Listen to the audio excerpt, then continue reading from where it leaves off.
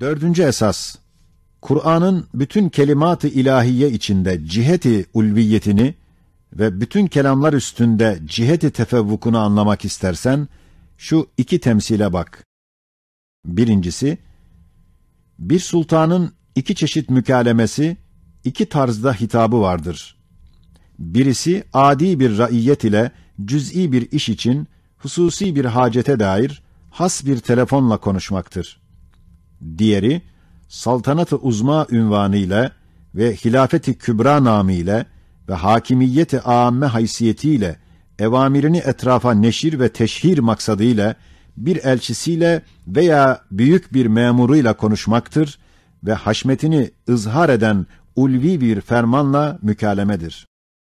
İkinci temsil Bir adam elinde bir ayneyi güneşe karşı tutar. O ayna miktarınca bir ışık ve yedi rengi cami bir ziya alır.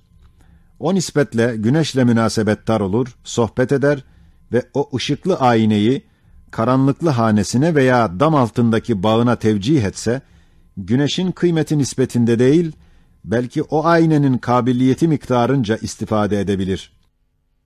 Diğeri ise, hanesinden veya bağının damından geniş pencereler açar, gökteki güneşe karşı yollar yapar. Hakiki güneşin daimi ziyasıyla sohbet eder, konuşur ve lisan-ı hal ile böyle minnettarane bir sohbet eder. Der, ey yeryüzünü ışığıyla yaldızlayan ve bütün çiçeklerin yüzünü güldüren dünya güzeli ve gök nazdarı olan nazenin güneş.